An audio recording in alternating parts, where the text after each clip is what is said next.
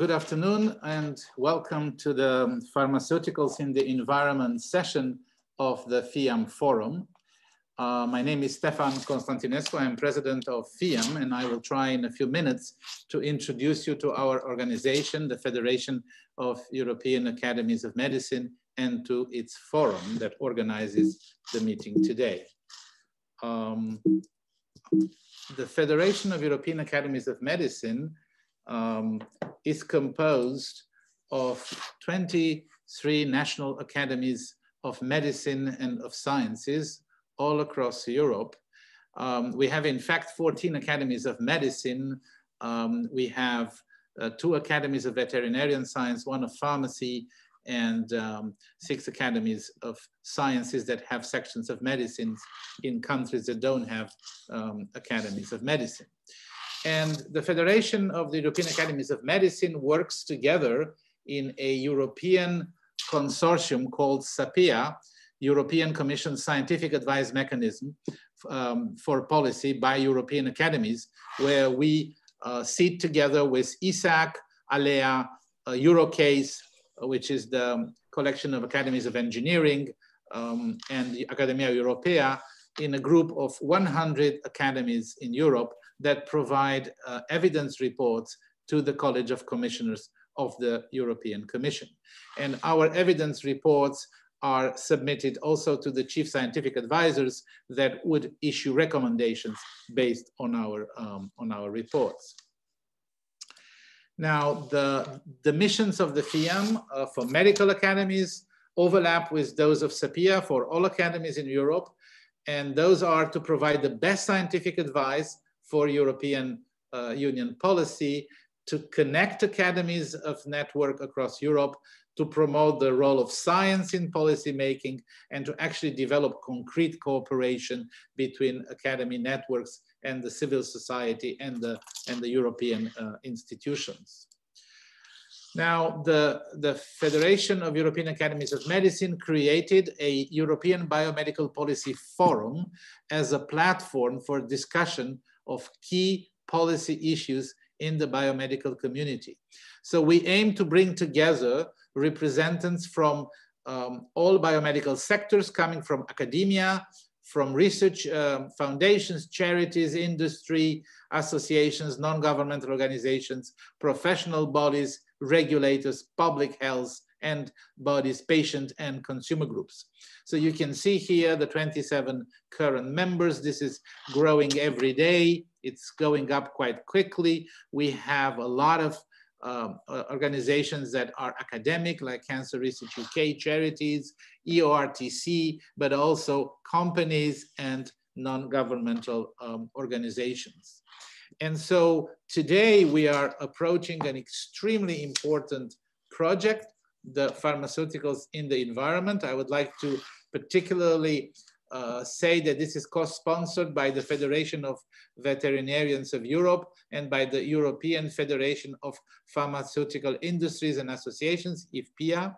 And I'd like to, to thank the participants and especially uh, Professor Jean-Christophe Giard, which um, represents the French Academy of Pharmacy, and it's the lead expert from FEAM on One Health and my microbial antibiotic resistance. I would like to also uh, list here uh, the, the, the, participants and I am personally grateful and on behalf of the FEAM board, I would like to thank everyone involved um, for uh, putting together this event, which I think will provide a very interesting view on the problem and would be a source for future research and especially for future policy issues.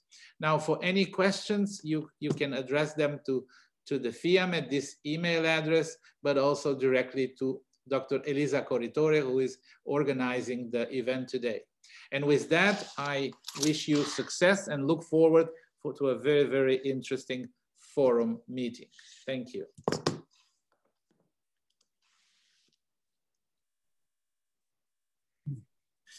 Thank you very much, Stephen. Uh, so we can now move to the first panel of, um, uh, of speaker, uh, dealing with the broader policy perspectives uh, of pharmaceuticals in the environment And uh, let me now introduce uh, our first speaker with Sara Cerdas, and she's a medical doctor from Portugal and member of the European Parliament. And she's member of the Committee on, on the Environment, Public Health and Food Safety, and a co-chair in the European Parliament's Health Working Group.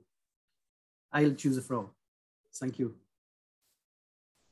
Thank you very much for giving Thank you very much uh, for to the Federation for the invitation and for organizing such an important event in, in quite one of the most important topics we have ongoing with uh, great emphasis in the One Health approach and highlighting the importance of health in all policies. So I will briefly begin my, my, my intervention. Um, as you know, we found out that several pharmaceuticals uh, are in the surface and groundwater, soils and animal tissues across the EU. And these are uh, specifically, we're talking about antimicrobials, antidepressants, contraceptives, antiparasitics, which uh, are substances that are commonly found and widely known for their effect on the environment, among other uh, pharmaceuticals. For example, we have that male fish exposed to the hormones of contraceptive pills may become feminized, affecting their capacity, sorry, uh, affecting their capacity to reproduce. In other studies, uh, fish that were exposed to certain antidepressants have been found to change their behavior in ways that could affect their survival. So here we are talking about um, a very important biodiversity and uh, environmental challenge. And of course, one of the main challenges that we have now in public health, which is the presence of antimicrobial pharmaceutical substances in water and soil, which combined with the inappropriate use of antimicrobials, particularly in livestock farming, will play an important role in accelerating the development of antimicrobial resistance, which is one of the biggest pandemics we're going through. Unfortunately, the true impacts on human health are yet to be enlightened as further research is needed to understand and evaluate certain pharmaceuticals in regards to their environmental concentrations and the resulting levels of risk. So this has to do with the risk exposure and more research should be focused on that.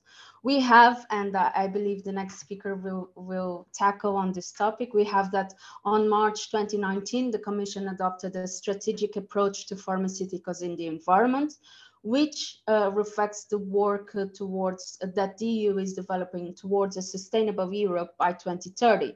And it will contribute in particular to achieving the Sustainable Development Goal 6, specifically on clean water and sanitation. The strategic approach to pharmaceuticals in the environment is clearly complemented by several other documents that follow the EU framework. For instance, the European One Health Action Plan against antimicrobial resistance, the new industrial strategy for Europe, chemical strategy for sustainability, and the strategy on endocrine disruptors. In this regard, I would like to highlight what the European Parliament has been developing, which is we have presented a resolution, meaning a European Parliament's position, recalling that the OECD latest report on pharma residues in fresh water can be found with that the current policy approaches to manage pharmaceutical residues are inadequate for the protection of water quality and freshwater ecosystems upon which healthy lives depend. And also reminding that pharmaceuticals authorized for human use and put on the market before 2006 were not subject to any environmental risk assessment as part of the authorization process. We also have that the European Parliament has also shared their concern on the soft nature of the measures included in the communication, calling for effective measures to mitigate the negative impacts of pharmaceuticals in the environment. We also stress that in order to ensure the effectiveness of regulatory actions, it is of the utmost importance that they are taken in line with the precautionary principle in mind and the principle that environmental dam damage should, as a priority, be rectified at source. Excuse me, uh, there's a small problem with the slides. Can you share the slides again because we don't see the slides? There, there are no slides. There are no slides, Stefan. No, uh, yeah. I'm, yeah, sorry. Uh, if I could carry on and just briefly uh, going towards the end of the presentation or the remarks, sorry, not a presentation, is that at the end of 2020, the Commission adopted a pharma strategy for Europe, a pharmaceutical strategy for Europe. And here there is a revision of the EU general pharmaceuticals legislation that is set to be uh, adopted by the end of this year, simultaneously with the chemicals legislation, which is the revision of REACH regulation to help achieve a toxic-free environment. So also, again, I, I, believe the next speaker could help us understand a little bit more about what are the Commission's future endeavors in this regard. As for the European Parliament, we aspire for a legal framework that protects the environment and public health to increase awareness and promote prevention measures and prudent use of pharmaceuticals, support the development of pharmaceuticals that are intrinsically less harmful for the environment and promoting green, greener manufacturing, improving the environmental risk assessment and its review, reducing wasted waste and improving the management of waste, expanding environmental monitoring, and also filling other knowledge gaps with strong scientific evidence. And this is also one of the main uh, topics here at the European Parliament. We understand there needs to be and we need to have more research on this topic. So with this, I finalize my intervention and I, I thank you once again very much for hearing me out and most importantly for the honor of the invitation to address you. Thank you very much, uh, Sara. And um, uh, I will uh, give the, floor to the second uh, speaker of uh, this first panel, and, uh, is Hans Stielstra from Belgium, and he works on the Commission's Directorate General Environment and is currently is a deputy head of the unit uh, Sustainable Freshwater Management at the DG Environment. Yeah, thank you very much for uh, giving me the floor, uh, Mr. Giard, and uh, thank you also to the previous speaker um, who indeed uh, covered uh, some of the ground that I was also going to cover, but I think I have my own perspective on this. Um, yeah, as you said, I, I, work for the European Commission for the uh, the part that is responsible for environment. This is a file we do very much together with the colleagues uh, responsible for health policy, and I think that's an absolutely crucial uh, point to emphasize that this is not an environmental agenda only. It cannot be an environmental agenda only. It has to be a, a common agenda both from the health and from the um, from the environmental perspective. Um, and, and, and therefore one of the challenges is also to bring together um, these two communities which which are not used i think to deal with one another so very often um, so I think it's fair to say that the starting point for a lot that we do at the moment is the European Green Deal that we adopted in, in 2019. And this contained this ambition for um, uh, uh, this zero pollution ambition for a toxic free environment. Um, from the recognition that, that we need to protect human health from dangerous chemicals, of course, as we have said for a long time, um, but also to protect the ecosystems. And, and that is not simply a lofty uh, objective, it's also crucial, I would say, given the overwhelming evidence that there is a risk, uh, there is impact from pharmaceutical residues on, um, on ecosystems. Uh, indeed, I think the, the jury is still out on what is the impact on human health, but I think as far as ecosystems is concerned, it's pretty obvious. Um, and uh, the MEP has just mentioned some examples of that in relation to fish. Uh, the same can be said about uh, impact on, on dung beetles uh, that have an impact subsequently on soil quality. Um, uh, and, and, and apart from this effect on ecosystems, there's also the issue that um, the more pharmaceutical residues we find in water, the more we need to put um, our wastewater treatment facilities at work, uh, who which are not in all cases, but often able to remove pharmaceuticals from wastewater, but it comes at the cost, of course. And this is at a time when we are um, trying to be mindful of the cost that people pay for their water. Um, and of course, this is also coming at a time that we are mindful, very mindful of energy consumption of these uh, wastewater treatment plants. And, and the more we let them clean, the more energy they will use, and the further we are away from our objectives of mitigating um, uh, climate change. So I think that's it's also important uh, from that perspective. Now, it's one thing to formulate uh, objectives. Um, it's another one uh, to turn them into concrete action and to follow up on those at the end of the day. Um, and for this, the European Green Deal announced three uh, particular strands of action, um, or at least three. I, the MEP mentioned a few more that they are indeed also relevant but I would mention three in, in particular, the chemical strategy for sustainability with its aim to revise the legislation that we currently have on chemicals to streamline the monitoring, the assessment, uh, a degree of reallocation of tasks to make sure that we assess risks in a, um, in a harmonized and efficient way. Then the Zero Pollution Action Plan um, for air, water, and soil, which we adopt it in 2021, I believe. Time flies, um, but I think it was in 21 that we adopted it. And that contains a range of, of actions that I will come back to uh, in a moment.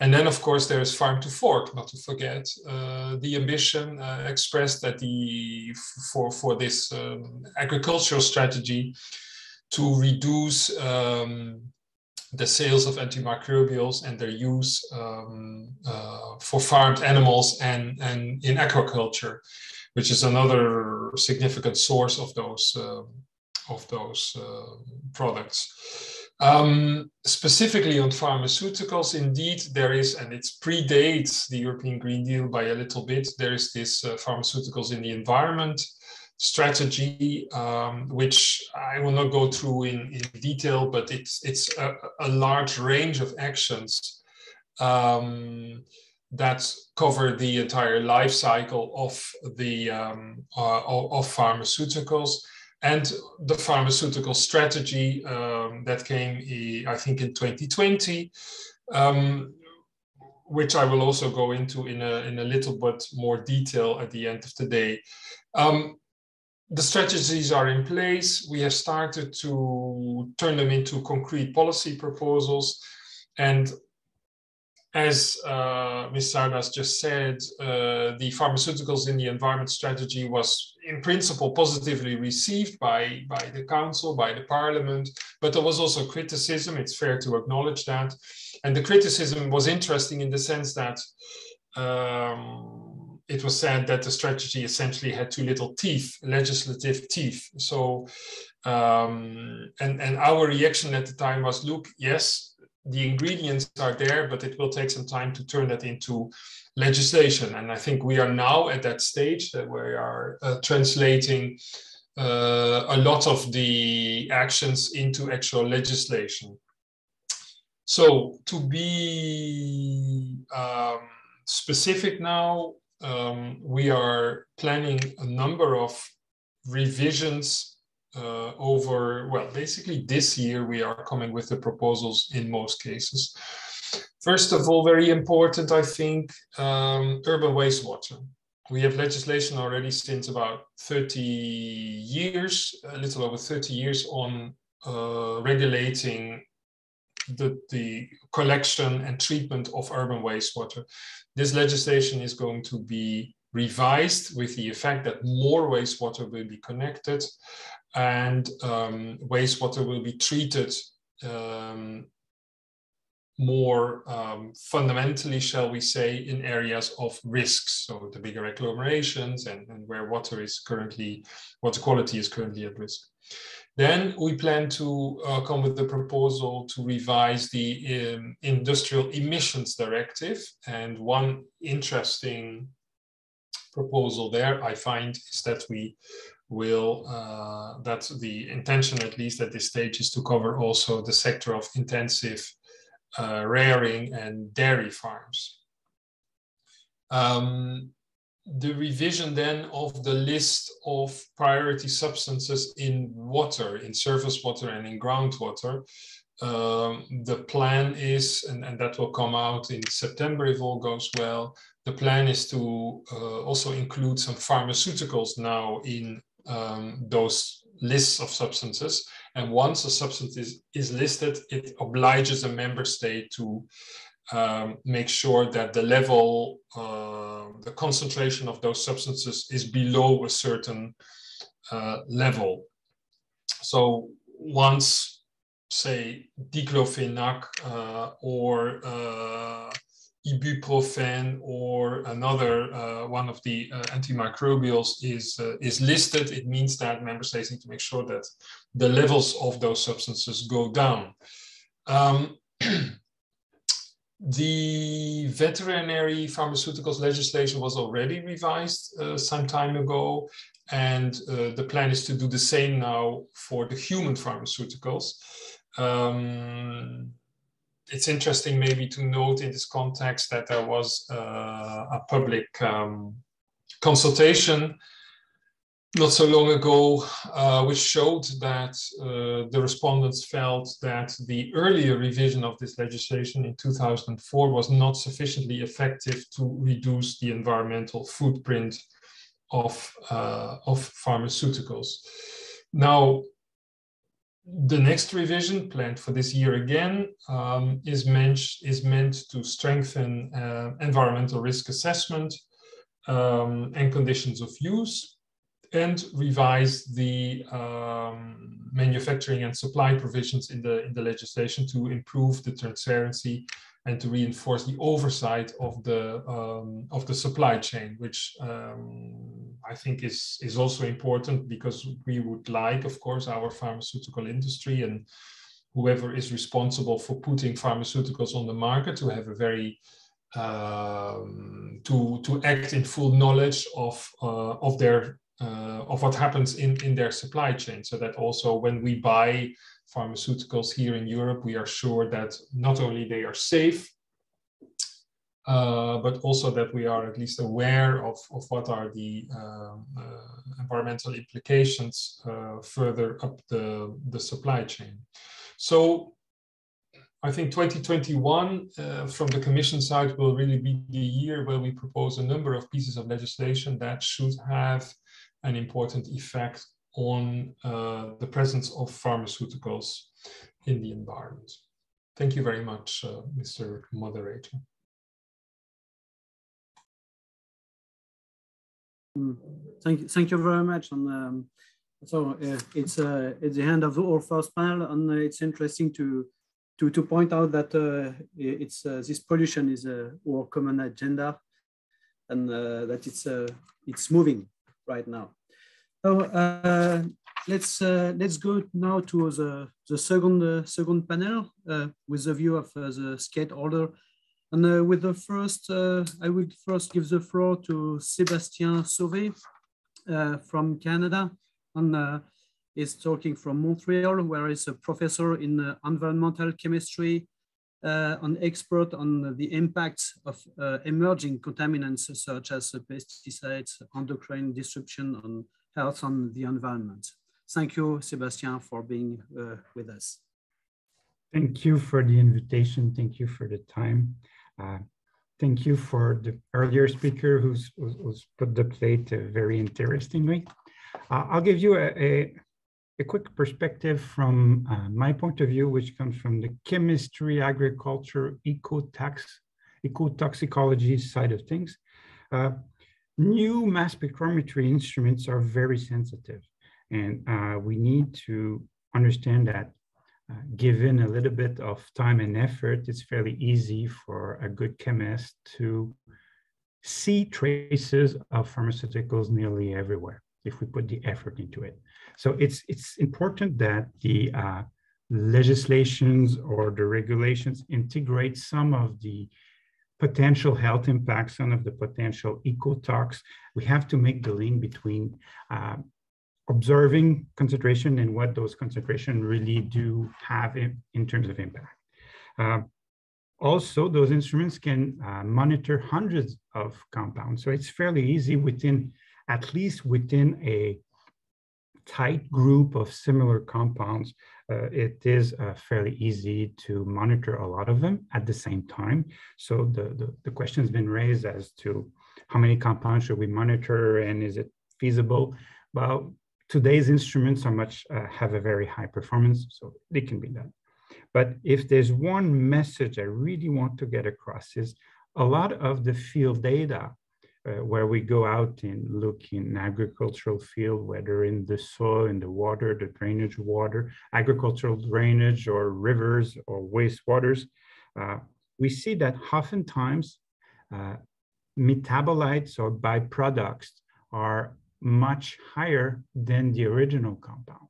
So it is very important in terms of monitoring and the regulations pertaining, pertaining that too, uh, we need to integrate potential, well, whether it's a metabolite from the consumption going through the animal or, or, or the person, or whether it is uh, byproducts coming from photooxidation or ozonation. If we have a peculiar treatment with ozonation, we will generate byproducts and that, the concentration of those byproducts uh, has been observed to be uh, uh at least one order of magnitude higher in some cases, so that if we focus the monitoring, the regulation on target compounds that are being prescribed or given to, to uh, animals, uh, we might just not see the, the real problem, which is byproducts. Um, and then the other component of this is if we go on regulating to target specific compounds, well, the regulation should include the byproducts of that compound because it's too, if we want to reduce the impact and look at a compound that disappears quickly, but it's a, a compound that actually generates persistent byproducts that are toxic or that have potential impact, then it's really uh, important to integrate the metabolite as a group when we regulate things, because otherwise it is a bit tricky. Uh, definitely. And I see that I'm being asked, when should we monitor these things? One of the point where we've seen antibiotics from agricultural field, especially like pig or uh, production with high, uh, intensive in terms of antibiotics, we can see some uh, very high levels of byproducts and uh, any water treatment that uses old ozone would also generate. Ozone is very good at generating byproducts. If the ozonation process is, is, is complete, then you generate byproducts and then ozone destroys the byproduct. But if the ozonation is partial, you are, uh, well, you're looking for trouble and you're generating byproducts. Uh, and then in terms of some of the pharmaceutical health component, we probably should have a look at cases where there are alternatives, uh, when we can use different analgesics, we can use different, uh, different pharmaceuticals that have a similar impact or a similar health benefit, maybe we should look at the green side of things and try and pick the, the greener version in as much as there's no uh, differences in terms of health impacts. So I think I'll, I'll, I'll stay at this because there's a lot of people that need to, to express themselves. Thank you for this opportunity. Um, thank you very much for for your point of view, and uh, it's uh, interesting to, to to see the importance of um, uh, byproducts. And um, now uh, we'll uh, now listen uh, a French colleague from Limoges, Christophe Dagot, who is professor at the University of Limoges and appointed to the National School of Engineering also Uh, and is a specialist in antibiotic resistance uh, micropollutants uh, in the environment and is currently Deputy Director and Head of the Water and Environment Department. Thank you, Christophe. Thank you, Jean-Christophe, for your kind introduction. And I will try to explain the problem of uh, antibiotic in environment in a few minutes. So, so uh, as you certainly know, antibiotic resistance is um, now a major public health problem causing 1.3 million deaths per year worldwide. So the exponential appearance of antibiotic resistance is explained by um, several facts.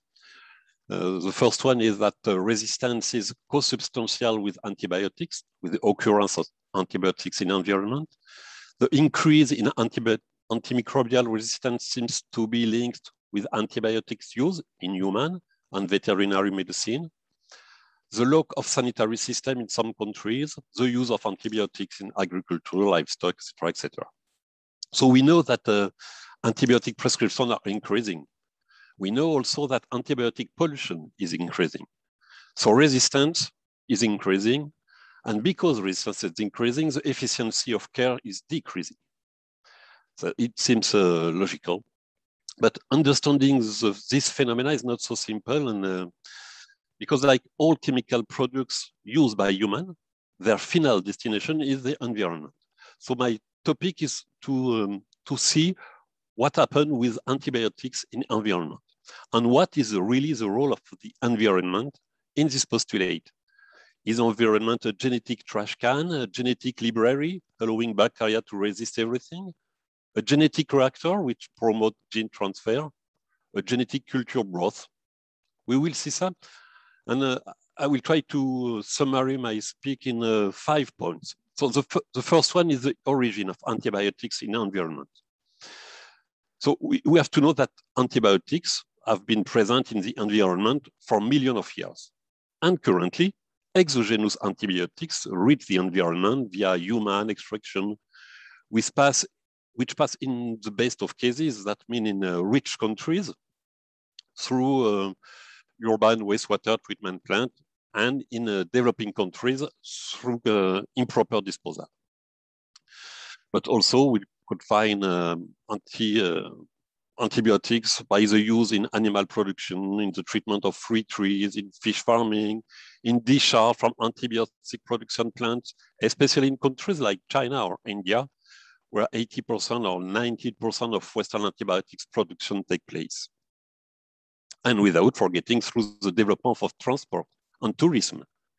So the environment is the receptacle, the, receptacle, the mirror of uh, human activity in which the ecosystem balance is broken. We are now in an accelerating dynamic of dissemination. So the, the second point is the environmental concentration. So it's definitive low to very low. For example, in a river, is it close to 10, 100 nanogram per liter and exceeding one microgram, 10 microgram per liter in anthropogenetic influence. But, but concentration of 6,000 6, microgram per liter of ciprofloxacin were detected in India with effluents about 31 milligram per liter in. But generally, the concentration found are lower than the typical minimal inhibitory concentration, the MIC, which is between 10 and 10,000 microgram per liter. But we have to remember that selection may occur at concentration below the MIC. So this environmental concentration of antibiotic at most often lower than concentration predicted or shown to select for resistant strain in the lab. So one of the problems is the impact of antibiotic in the environment. So the first impact is the toxicity and the intrinsic toxicity of antibiotics is not easy to demonstrate in, envir in environment. It's however shown that antibiotic in environment would have impact on biodiversity at concentration, however, higher than that found in the environment for a single molecule. Our study have also calculated the RQ the risk coefficient, which is the ratio between the MEC and the PNEC. MEC is the maximum concentration of detected antibiotics in environment. and the PNEC, the predicted no effect concentration value. For example, for the ciprofloxacin we spoke about, the RQ is equal to 286, which is very, very high and uh, characterizing a risk for human health.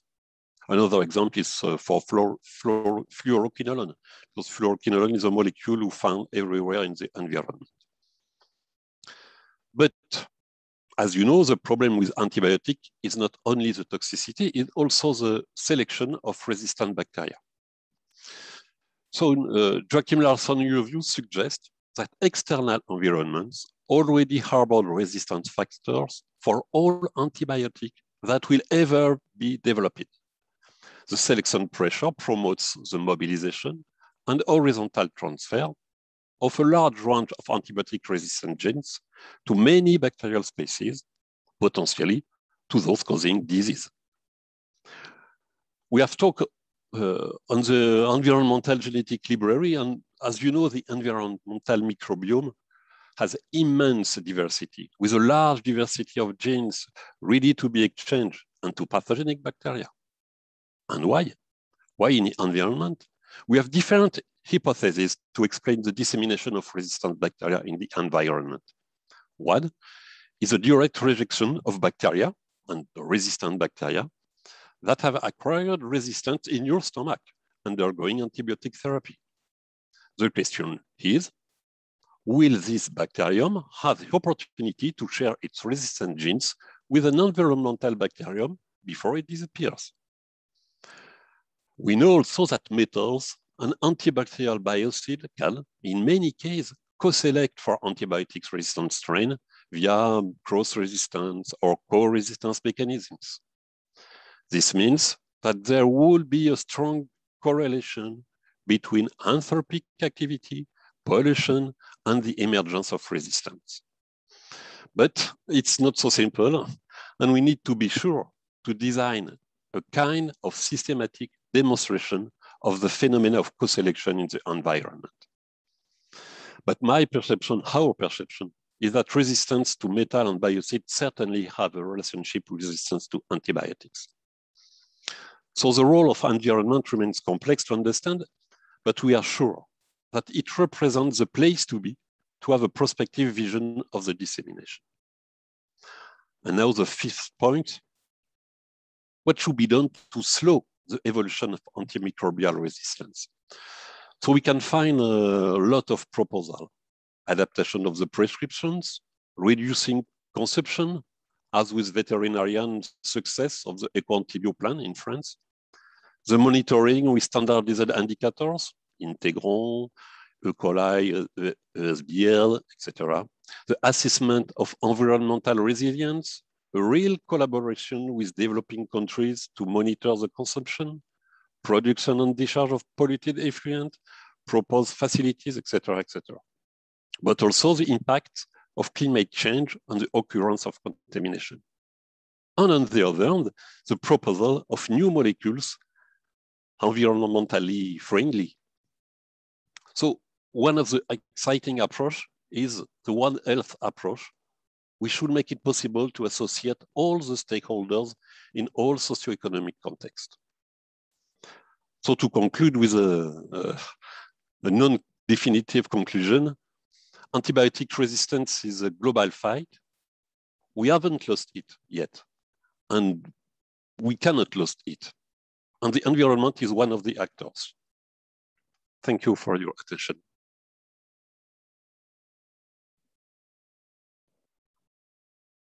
So thank you very much, uh, Christophe. And, uh, uh, obviously, we are in, in the One Health concept with uh, AMR uh, selection and uh, the, the risks, the Damocles in overhead with the development of AMR. Thank you very much. So now we'll listen the next speaker with Patrick Kestemont, who is a full professor at the University of Namur in Belgium, and is president of the Research Institute of Life, Earth and Environment, and director of the research unit in research unit, sorry, in environmental and evolutionary biology, where he studies the mechanisms of acclimatation and adaptation of aquatic organisms to a changing environment. Thank you, Patrick. Okay, uh, thank you, Professor Gia, Gia, for this introduction, and thank you also to FEAM for the invitation to this uh, very interesting uh, webinar. Uh, okay, so as, as you mentioned, as you know, so I'm more specialized on ecotoxicology, and so I will make my presentation with regard to all these environmental issues and from an ecotoxicological perspectives. And my presentation will include eight points. Some are very short, some is, are a li little bit longer. So first of all, uh, when we are talking about pharmaceuticals in the environment, what are we talking about? There are several hundreds pharmaceutical residues that can be detected in the aquatic environment, uh, mainly when we are talking about uh, Europe and uh, European surface waters, uh, but rarely in, in groundwater. We have done a survey in collaboration with the, the, the Walloon company of water supply and the presence of pharmaceuticals in groundwater are very low. Um, now, with regard to the surface waters, uh, the concentration can vary greatly between molecules, uh, river types, uh, and countries, of course. So ranging from less than one nanogram per liter for some chemicals, for some pharmaceuticals, to several milligram per liter for some others. And by crossing the abundance and occurrence of the molecules uh, detected for, for more than 1,500 sampling points in, in Wallonia, in Belgium. Uh, we have seen that uh, the analgesics are by far the most present, but their persistence is rather low because, of course, they are rapidly degraded. But as it was mentioned by Professor Sauvé uh, before, uh, the metabolites of, uh, for example, the paracetamol are uh, rarely analyzed in the survey and should be analyzed, in fact. Um, on the other hand, uh, cardiovascular uh, drugs and neuroleptics are much more persistent. And they are also quite well represented in Belgium uh, surface waters, ranging between 20% for the, the cardiovascular drugs to 6% respe respectively when we are uh, considering all these pharmaceuticals. Uh, okay, so um, now we, we have different uh, tools to evaluate the toxicity of these uh, pharmaceuticals.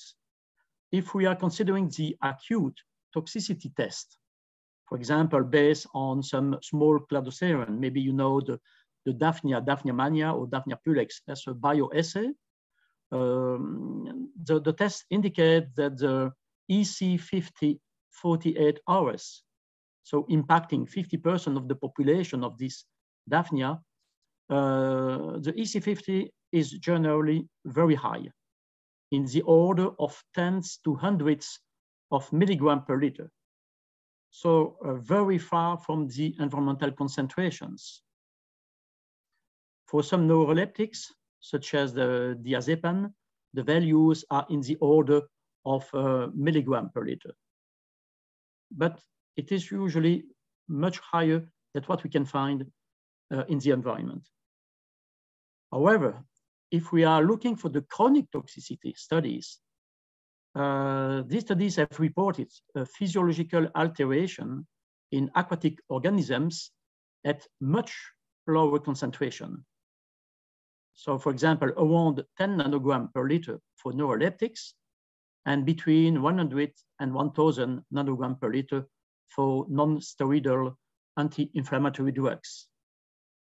With a lot of effects, such as uh, the altered survival and growth, uh, impacts on reproduction, immune responses, resistance to pathogens, uh, DNA damages, etc.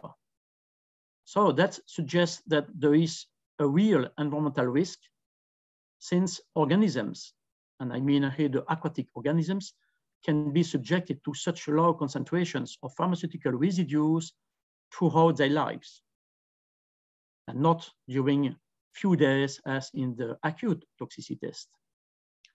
And in this respect, uh, the release of synthetic estrogens is considered a problem because of the endocrine disrupting effects at very low doses, at the range also of the nanogram per liter for ethinyl estradiol. Okay, so this is um, another aspect. Now I would like to focus on some ecotoxicological issues, uh, mainly concerning the bioconcentration, the bioaccumulation and the biomagnification of the pharmaceuticals along the food chain. The bioconcentration, which is the ratio between the concentration of a chemical in the body of an organism uh, and the concentration of the same chemical in the environment, this bioconcentration uh, may vary according to the type of molecule, um, but um, most uh, non-steroidal uh, anti-inflammatory drugs uh, can bioconcentrate in aquatic organisms. And so greatly increasing the concentration of these molecules in specific organs. For example, we can uh, find in the, the liver of, uh, of fish several thousand times more than in the surrounding water. So uh, the bioconcentration can be uh, a concern. Uh, in contrast, uh, the biomagnification, which is uh, representing uh, the increase of the concentration along the food chain. So for example, from phytoplankton to fish in an aquatic environment, appears to be rather rare. So suggesting that the, the molecules are rapidly excreted uh, by the aquatic organisms. But if you are looking to the literature, there are relatively few studies that have uh, investigated the biomagnification uh, aspects of these uh, pharmaceuticals. So much more studies are needed uh, to get a more valid, valid uh, conclusion. So an, another important issue in ecotoxicology, and I don't think that the, the, the, pre, the previous speakers have talked about that, is the, the cocktail effect due to the presence of a mixture of pharmaceuticals in the environment, uh, especially, of course, in wastewater treatment plant effluents.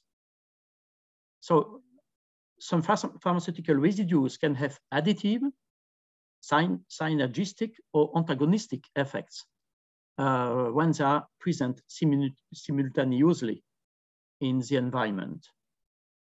So we have tools, models to predict these mixture effects, uh, depending on the type of um, action of these uh, pharmaceuticals or molecules in general. So we use predictive models uh, to combine these effects of xenobiotics when they are released into the environment. And these models di differ depending on the mode of action of the chemical mixture. The concentration addition model, for example, fits quite well with the addition of molecules with a similar mode of action. For example, if you are combining different type of anti-inflammatory drugs, ibuprofen, diclofenac, naproxen, etc.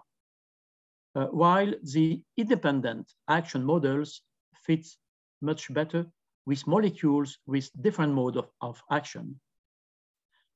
In fact, we realize that this is the theory, but in practice, uh, this doesn't work very well with pharmaceutical residues. And sometimes these models do doesn't fit well uh, for uh, molecules that have the same mode of action or having different mode of actions.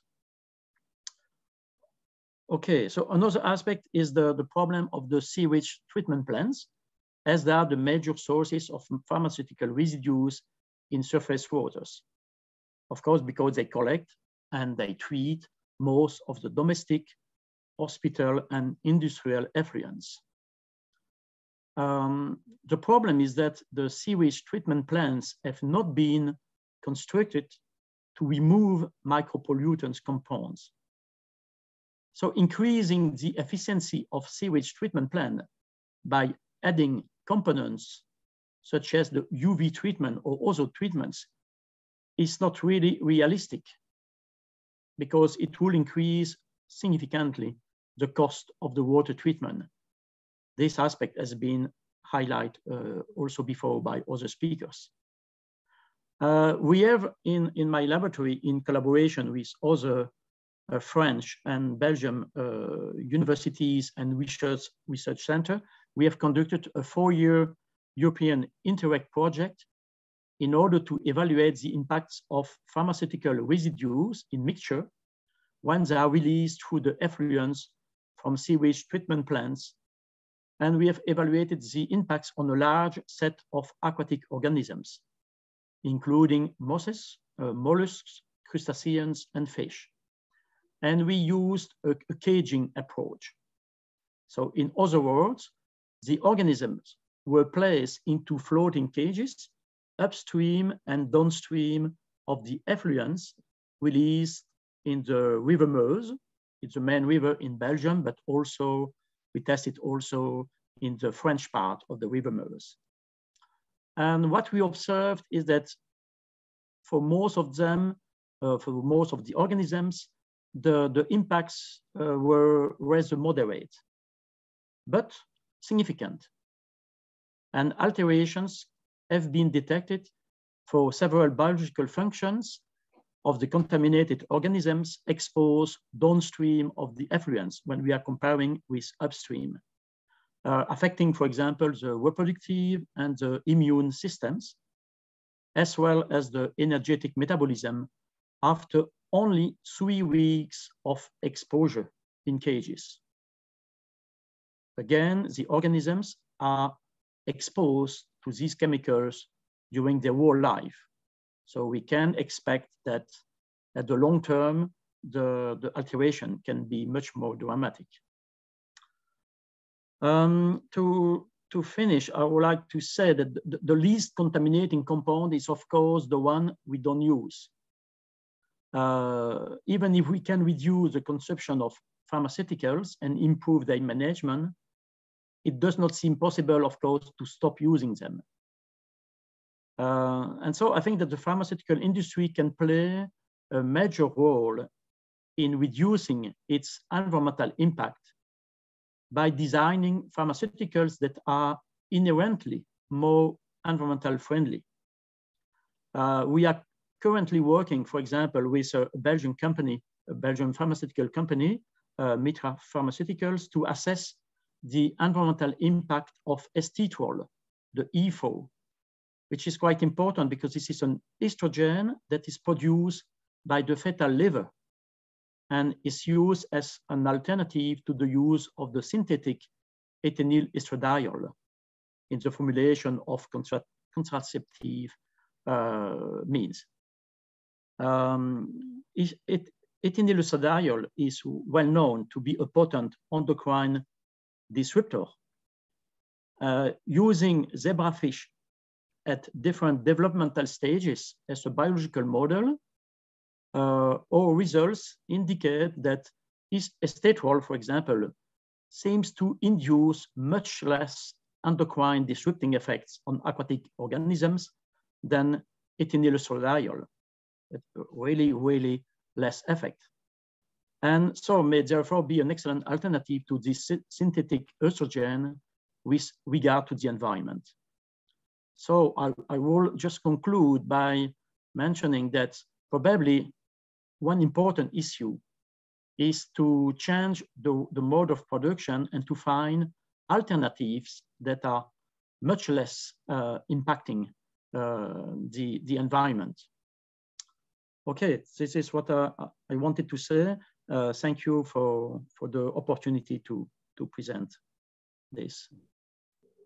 Uh, thank you very much, uh, Patrick. And uh, it's a, it's very uh, actually ecotoxicology uh, so research about ecotoxicology are very important on your your talk.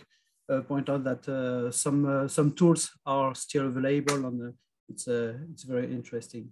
So we'll now move to the veterinary field of our, our panel with a presentation by Despoina Iatridou from Greece, who is a senior policy officer uh, for the Federation of Veterinarians of Europe, and uh, she's also appointed as General Secretary of uh, veterinary continuous education in Europe and does research in uh, veterinary education competencies uh, and also antimicrobial resistance and One Health on uh, public policy. Thank you, Despoina. Good afternoon, everyone, and uh, thank you for uh, the introduction and the nice uh, the invitation to this discussion. I'm joining to, today on behalf of FVE, where I'm a senior policy officer. Uh, I'm working in the FVE office in Brussels since uh, 2010, and uh, one of my dossiers is indeed One Health. So I will start with a little presentation of uh, our federation um, the FVE, the Federation of Veterinarians of Europe, represents the veterinary profession, that is to say about 300,000 veterinarians in Europe. It is an umbrella organization of national veterinary associations and chambers in 38 European countries. The veterinary profession is a very diverse profession with many different career paths. That is why FVE embraces four sections, each one of which represents a vital part of the profession. One section represents the practitioners. This is the part of the profession that takes care directly of the health and welfare of all kinds of animal species. This is the best known role of veterinarians for the society. Another section of FVE represents the veterinary hygienists. These are veterinarians involved in ensuring the safety of food on our table. They have a key role in protecting public health. A third section of FVE represents the veterinary state officers. These are veterinarians who work for competent authorities in many different roles, which are key in protecting public health as well as animal health and welfare. Finally, the fourth section of FVE represents the veterinarians working in education, research, and industry. These are veterinarians often going beyond the veterinary sector who contribute through many different roles in promoting knowledge and innovation in health of both animals and humans. FVE represents the whole profession and strives to, to speak through one voice on behalf of all these professionals. The mission of FVE, as stated in our current strategy, is to enhance animal health, animal welfare, public health, and protect the environment, though we fully embrace the One Health concept. It is not that FVE just embraces the One Health concept, it is that veterinarians have received One Health education. Veterinary students are educated in a way that prepares them for all the different roles I've just mentioned. They are taught and understand the mechanism of spread of disease and other kind of risks within individuals of the same species, across different species, across animals and humans, and the surrounding environment. We are taught how to protect the health of animals and humans and of the environment they share. Veterinary curricula are One Health curricula that develop a One Health mentality for all veterinarians. Coming to the topic of our today's discussion, I would like to share with you some uh, insights on how the veterinary sector currently contributes to the protection of the environment, starting from the time that a veterinary pharmaceutical product arrives on the shelf and it's available for use in animals. We all know that the development of a pharmaceutical product takes several years and includes a big amount of preclinical and clinical research. What is perhaps less known is that since 1992, all products that apply for authorization as veterinary medicines for use in animals in the European Union must pass a mandatory environmental risk assessment as part of their authorization process. Veterinary products can only enter the EU market if they do not pose a serious risk to the environment.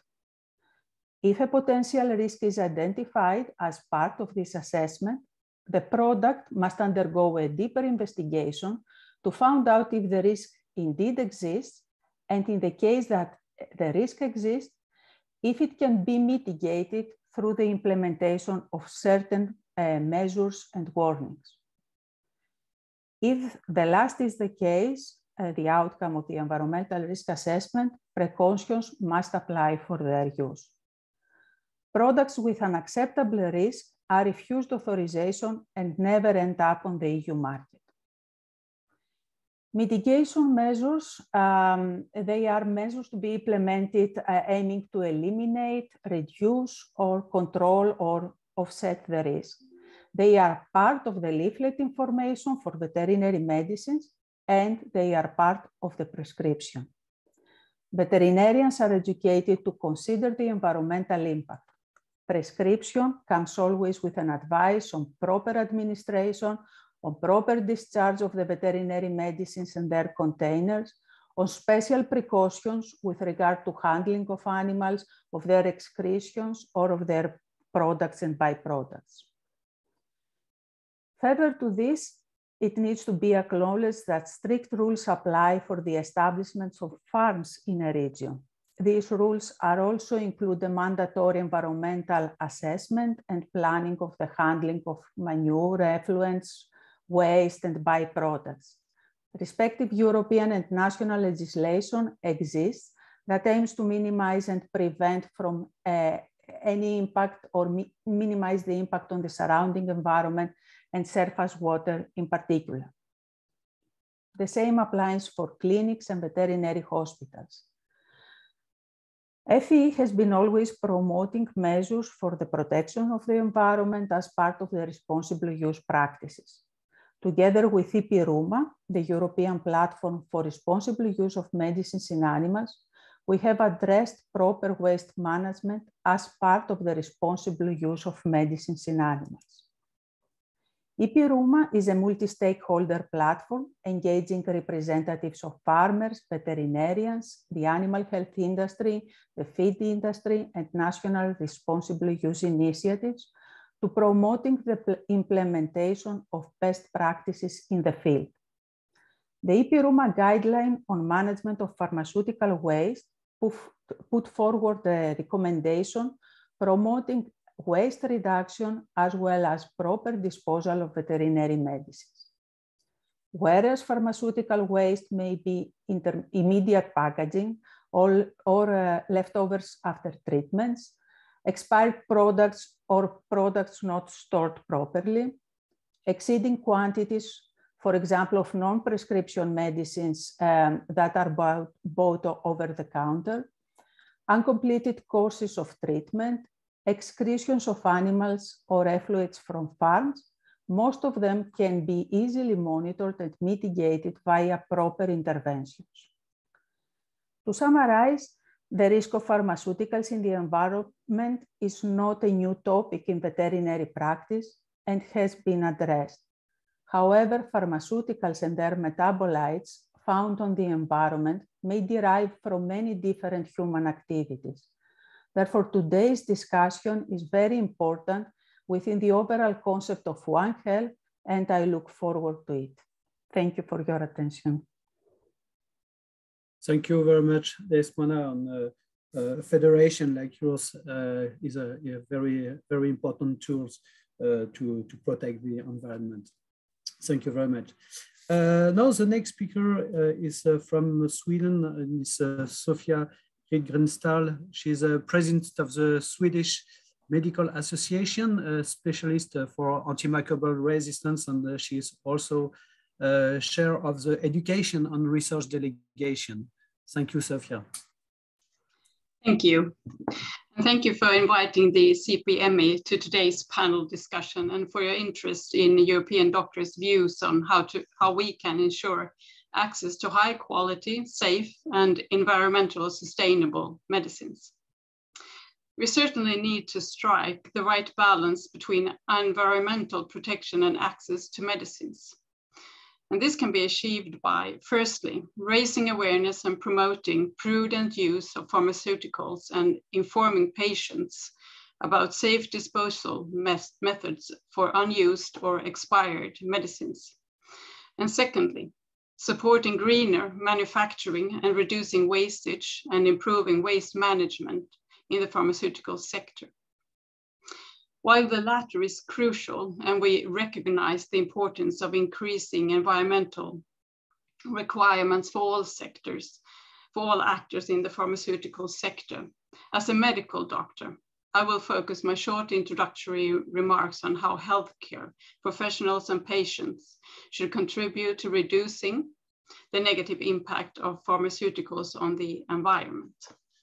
I would therefore like to give three examples of key actions that can improve the appropriate medicine use and disposal, with an emphasis on antibiotics and antimicrobial resistance which play a central role in discussed topics when we recognize the interrelationship between human and veterinary, veterinary medicine and the environment. First of all, medicine should be dispensed in a personalized manner for each patient. Overconsumption and inappropriate use of medicine is detrimental to patients' health, but also a negative, has negative environmental aspects or impact. For example, over-the-counter medicines represent a considerable share of the total amount of medicines used and are likely to be overused. Therefore, patients should be educated to buy medicines only as needed and to avoid stockpiling medicines that cannot be used before expiry. A prescription requirement certainly contributes to controlling the use of medicines which potential, with potential, uh, particular serious effects, such as antibiotics, antidepressants, and hormones. However, we are also aware of overprescribing problems that has been reporting in some countries, for example, when it comes to antidepressants. This is why appropriate healthcare professionals' education is indispensable, and I'll touch upon this in a moment. And in regard to antibiotics, it is of utmost importance that antibiotics are available only on prescription, as selling antimicrobials over the counter and self-medication by patients is likely to result in inappropriate antibiotic use and fostering the emergence of resistant bacteria. In addition, Antibiotics sh should also be dispensed in pack sizes according to the duration of the treatment to reduce waste. Second, doctors and pharmacists should inform patients what to do with unused or expired medicines. Doctors and pharmacists should encourage returning expired and unused medicines for appropriate disposal. For example, patients should bring back medicines to the pharmacy where they can be probably disposed. Without providing patients with such information, we risk that medicines will be used inappropriately, reused by persons to whom they were not originally prescribed. They may also be disposed inapparently and leave their residues in the environment. What in case of antimicrobials can lead to emergence of resistant bacteria in the environment. And third and last, healthcare professionals and patients should be educated on the appropriate use of medicines. Education and raising awareness are key healthcare professionals must be kept up to date reg regarding the latest developments in research and good practices in minimizing the negative impact of medicines on the environment. They should be provided with clear evidence-based prescribing guidelines on prudent use of pharmaceuticals, posing a risk to or via the environment. These guidelines should provide advice across clinical indications. At EU level, we should facilitate the exchange of best practices among healthcare professionals on the environmentally safe disposal of medical, medicinal products and clinical waste, and the collection of pharmaceuticals residues. In the context of AMR, cross-sectional education and collaboration between doctors, veterinarians, dentists, pharmacists, and other healthcare professionals following the One Health approach is particularly important. Lastly, it is equally vital that patients are educated and supported in responsible self-care behaviors. For example, li limiting medicine seeking and prudent medicine use and disposal. To sum up, healthcare professionals and patients can make a significant contribution to reducing the environmental impact of medicines through their appropriate use and disposal. To achieve this goal, however, education and awareness raising campaigns are indispensable. Thank you, and I look forward to the discussion. Yeah, thank, thank you very much. Uh, that's uh, interesting. Uh, it's important to have a, a good education, actually, for professional and for everybody. Uh, now uh, we'll uh, listen Jean-Yves Stenuick from Belgium.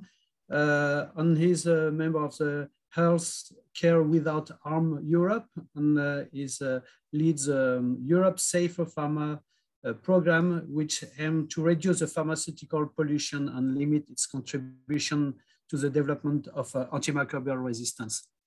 Thank you, Raif. Thank you very much, uh, Professor Giard, and thank you very much for the invitation to be here today.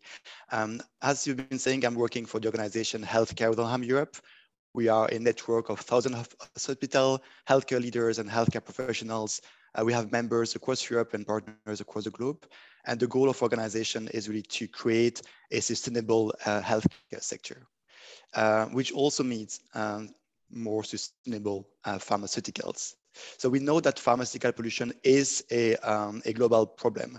More than 770 pharmaceutical agents or the metabolites have been detected uh, all across the world uh, on all continents uh, in 75 countries. And as mentioned previously, this is an issue because uh, pharmaceuticals in the environment can act as a driver for the development and spread of antimicrobial resistance, uh, which uh, is identified by the WHO as one of the biggest health threats facing humanity today. They can also have harmful effects on animal and plant life and on ecosystems more generally, and also some questions on the potential effects on human health, since uh, small concentrations of pharmaceutical residues have been found in drinking water. And it's interesting to note that uh, pharmaceuticals can actually enter the environment across the life cycle. There are three main pathways um, into the environment.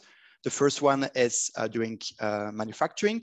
A previous speaker has mentioned the high concentration of uh, ciprofloxacin that was found in uh, manufacturing effluents in India. The second stage, um, the second pathway is in case, uh, well, when uh, the drugs are being excreted by patients. Uh, it is estimated that depending on the drug, between 30 to 90% of uh, all orally administ administered pharmaceuticals can be excreted in the feces and urines of patients.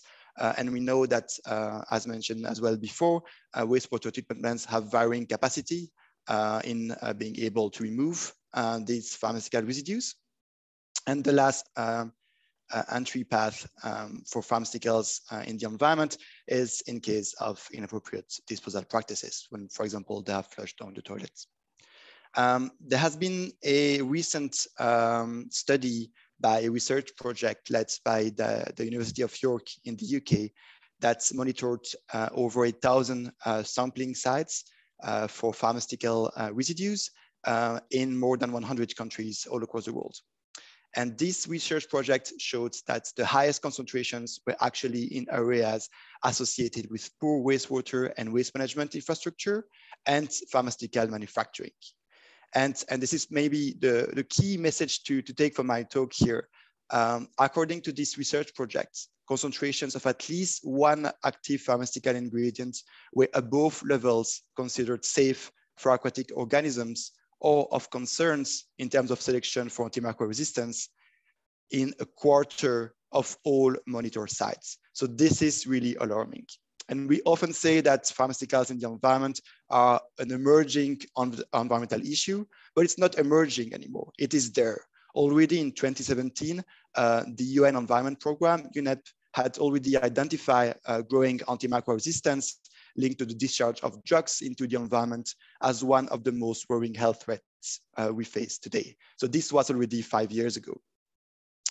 And in the European Union, we have a key opportunity now uh, to change and to strengthen the regulatory framework in relation to pharmaceutical residues uh, and their contribution to the development and spread of antimicrobial resistance uh, in the framework of the ongoing revision of the EU general uh, pharmaceutical legislation. So that's why in my talk today, I would like to highlight recommendation in three main areas. So the first area is about um, improving transparency and sustainability uh, of the pharmaceutical supply chains.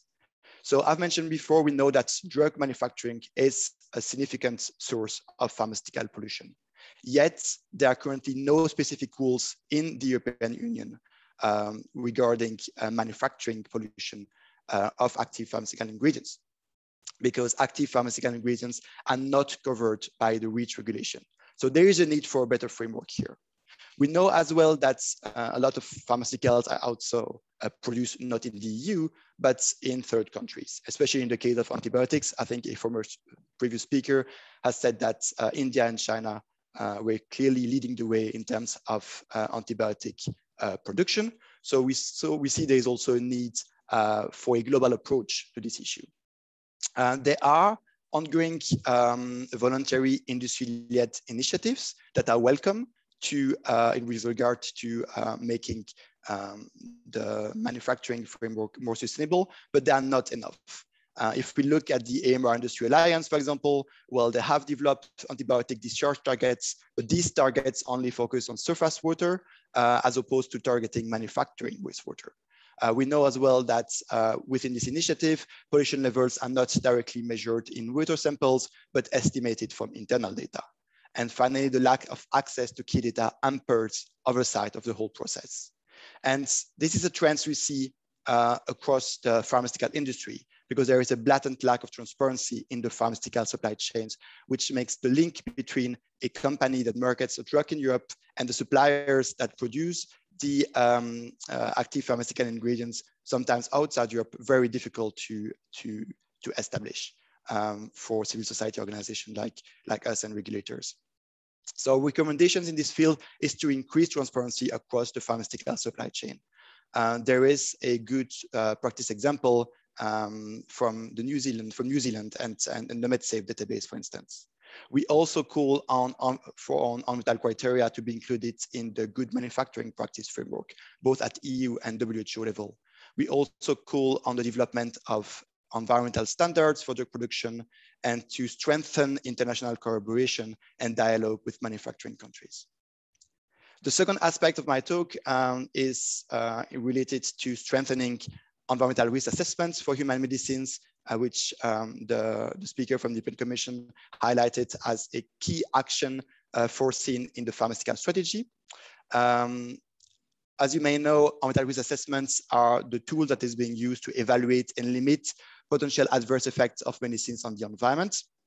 However, the guidelines uh, on environmental risk assessments for human medicines came into force only in 2006, uh, and also they did not apply it retroactively, which means that there's still a lot of drugs out there that we call legacy pharmaceuticals that often lack an adequate environmental risk assessment.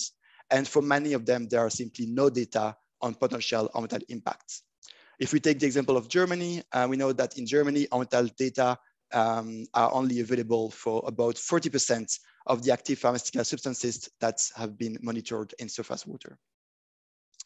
Uh, as I've seen also some discussion in the chat, uh, risk are not a criterion in the benefit risk assessments for human medicines, which means that they are not taken into account when the European Medicines Agency issues a marketing recommendation.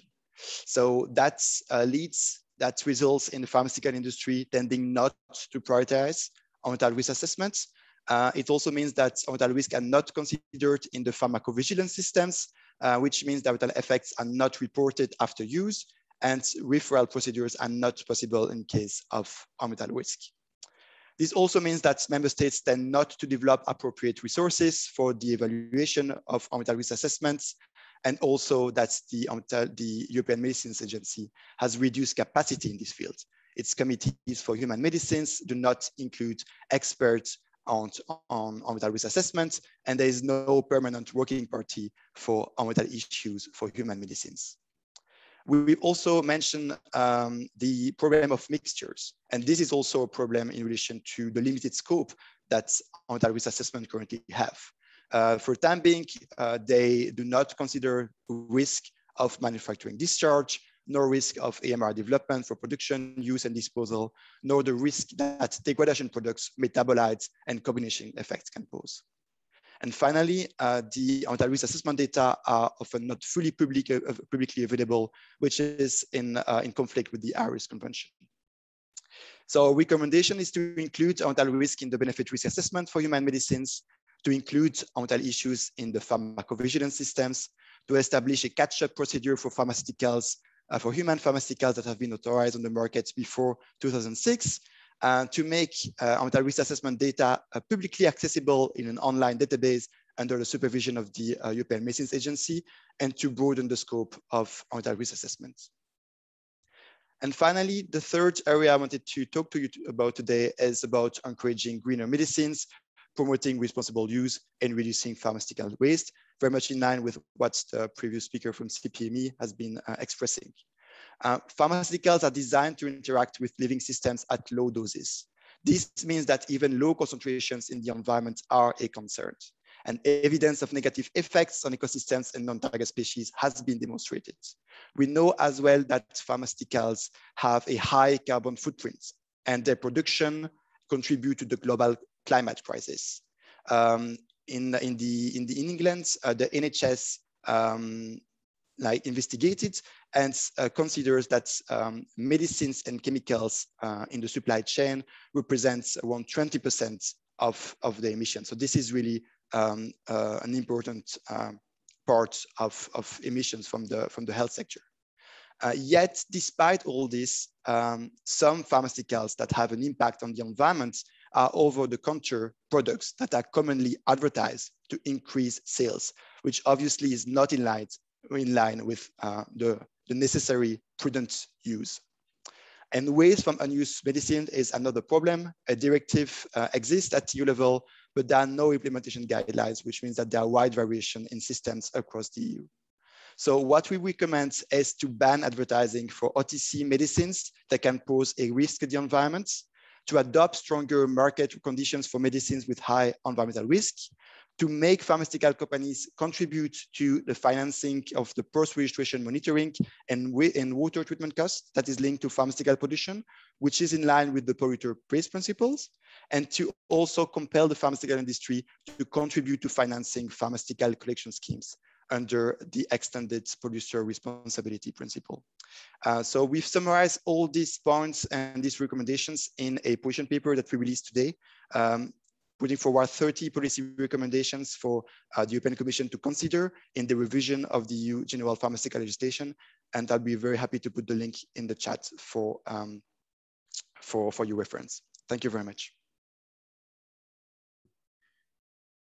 Thank you very much, uh, Jean-Yves. Uh, uh, it's uh, interesting because uh, the last speaker uh, we'll hear today uh, is the Bengt Mattson from Sweden, and because he is chairs he chairs international inter association industry pharmaceutical in the environment task force, who is supporting this forum today, and. Um, He's also head of the corporate social responsibility and environmental affairs for Pfizer's operation in Sweden and co-chairs the European Federation of Pharmaceutical Industry and Association. So maybe he will have some uh, interesting comments or answer uh, about uh, your the previous talk.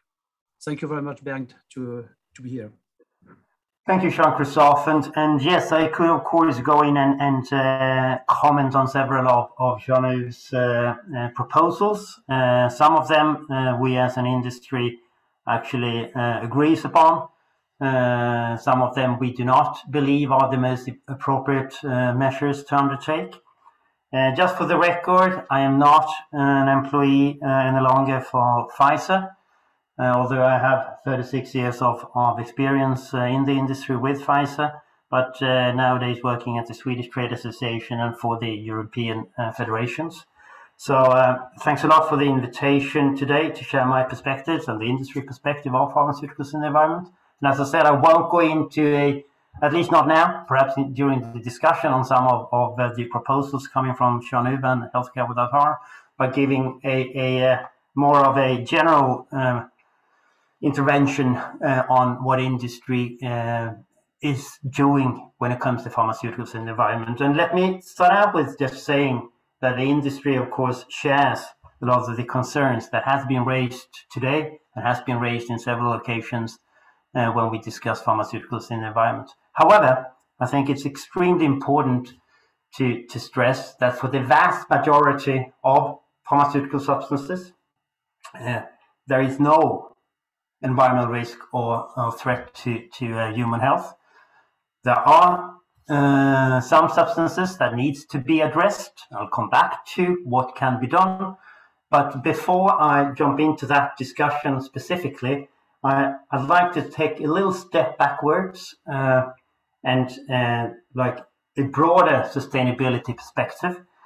Uh, the pharmaceutical industry addresses uh, sustainability and all the challenges we, we've heard about through the Agenda 2030 and the uh, uh, Sustainable Development Goals of the United Nations. our priority, of course, is goal number three, good health and well-being, which is pretty much the, the reason why we do exist as an industry and why healthcare exists to uh, providing medicinal products to enhance quality of life. And it is our absolute strongest belief that we can and we will be successful in minimizing uh, environmental impacts and negative impacts on any other SDG actually but still be be able to to uh, uh, secure access to to medicines. I think that is is very very important to mention. Um, and if we look on some of those other SDGs, of course, number 13, fighting uh, climate change, is extremely important, and there's a lot of initiatives uh, undertaken by the pharmaceutical industry to to lower the carbon footprint of our products. Uh, and in focus for the discussion today, of course, number six on clean water and sanitation, and perhaps specifically on 6.3 on water quality and pollution to, of course, improving water quality by reducing pollution. Um, and and um, actually, Jean-Yves also mentioned a little bit, bit about the different uh, pathways of substances to uh, pharmaceutical substances to the environment.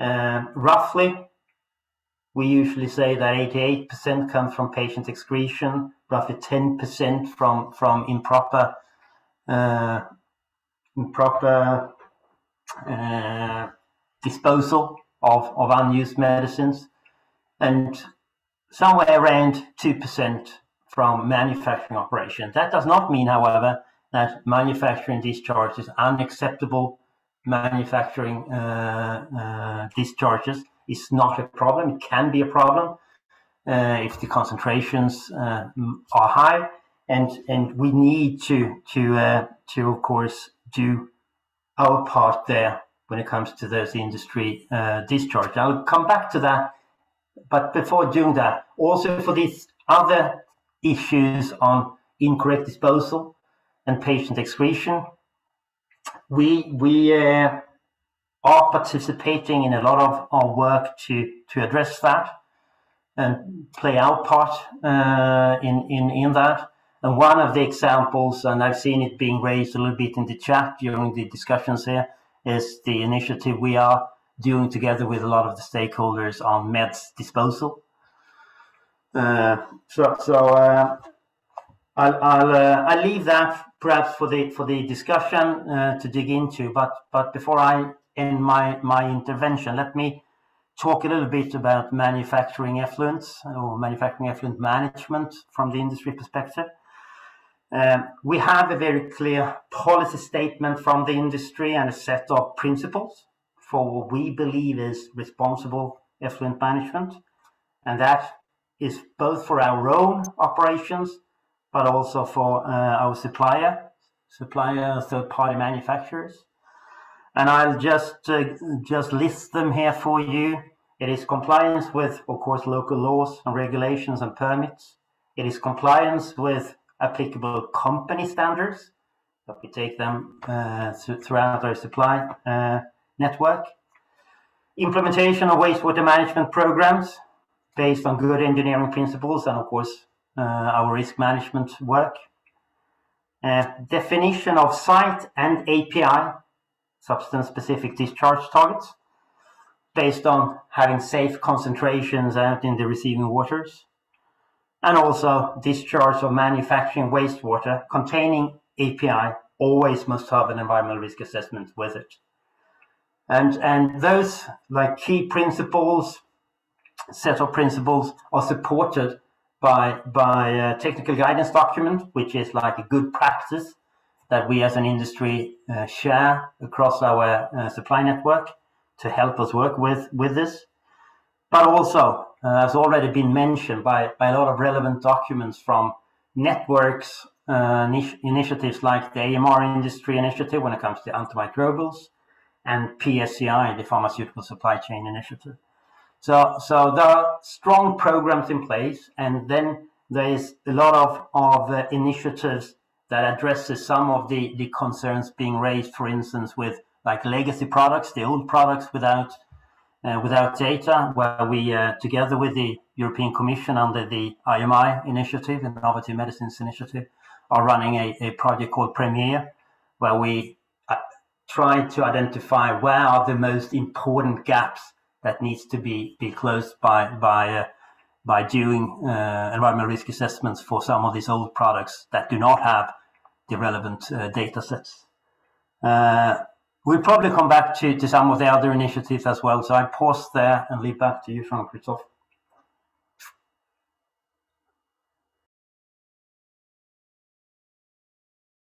Uh, um, thanks a lot, and uh, it's uh, it's nice to hear that uh, uh, that pharma that uh, pharmaceutical industry uh, is, so, is susceptible of this um, of this problem.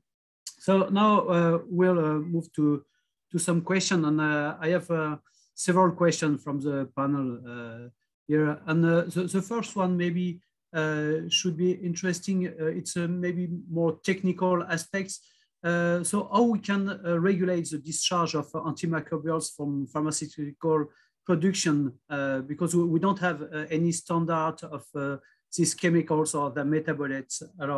maybe may uh, I don't know who who may uh, answer the, this question, and uh, maybe pa Patrick or Christophe. Uh, do we have standard uh, for to, to monitoring uh, this, this, this antimicrobials pharmaceuticals?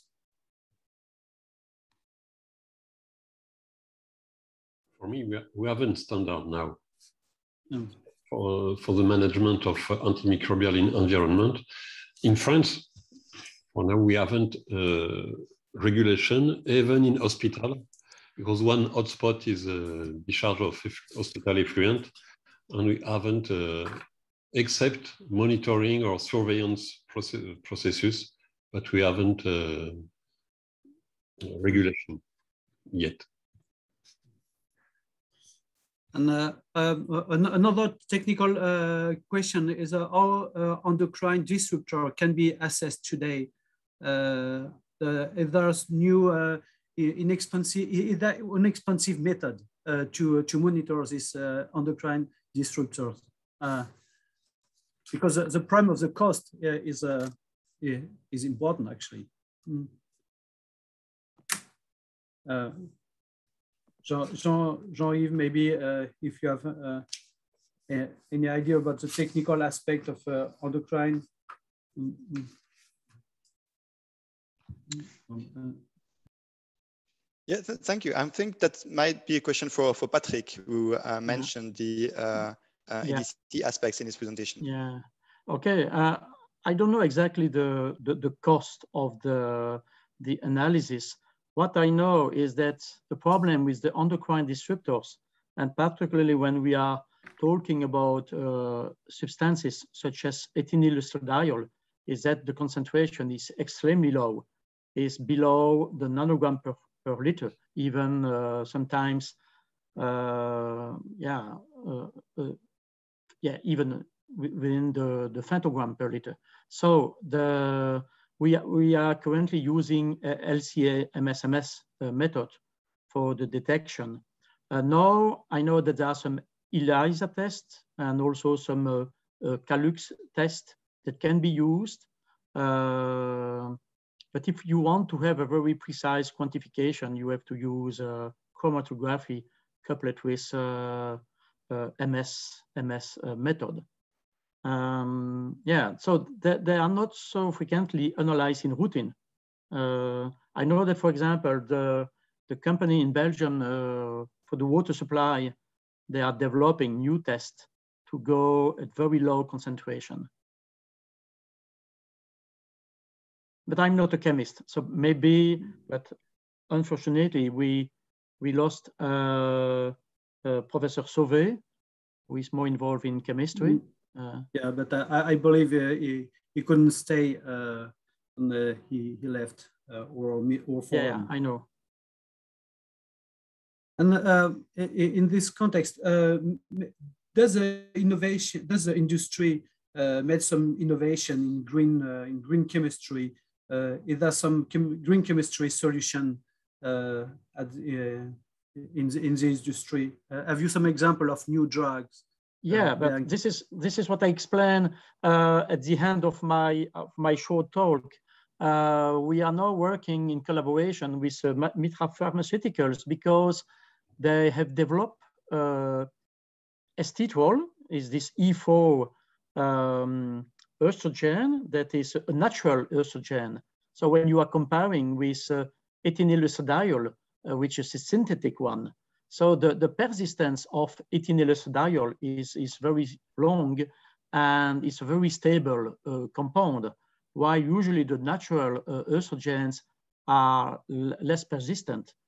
And so what we have observed using a, a lot of experiment now, different, different stages with uh, a fish, the zebrafish, that is a very good uh, toxicological model, is that uh, looks to be much less uh, endocrine disruptor than uh, the ethinylestradiol.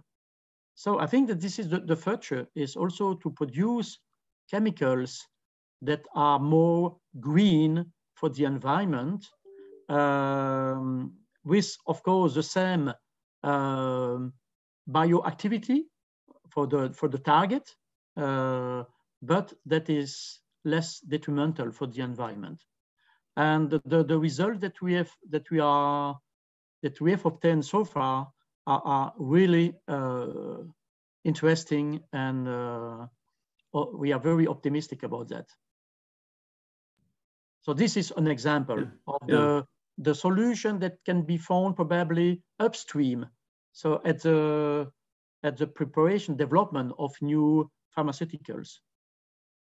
Um, maybe uh, Bengt, uh, uh, how can the, the environment uh, impact can be uh, minimized at each life cycle of the, of the medicine? there's some, some programs. Yeah, well, there, there, there is a lot of work on this, and I mentioned this IMI Premier project, talking about addressing some of the the uh, the old products without uh, environmental uh, full data sets in that project, we're also looking into to uh, uh, green design type of of, uh, of work.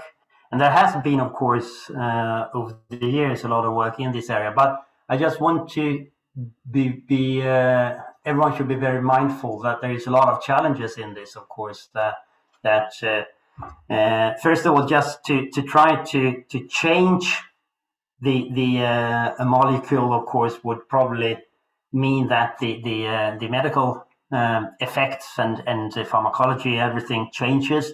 It would probably need it will need new new uh, clinical trials and and uh, registration, and it'll be very challenging. Believe me, if if we try to bring a greener drug, green by design type of drug to the market, uh, competing with some of the the old products that is already present in this therapeutic field with that are generically uh, available, very, very low prices for those products. And you come in with an entirely new innovative drug greener.